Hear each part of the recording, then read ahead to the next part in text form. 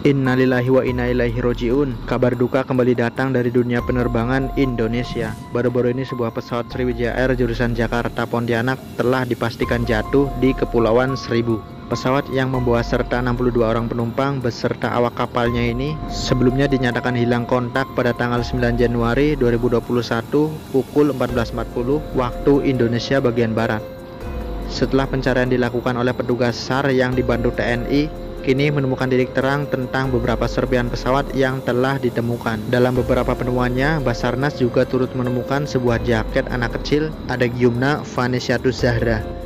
Sebelumnya Adagiumna turut serta menjadi penumpang pesawat Sriwijaya Air bersama ibunya Ratih Windania.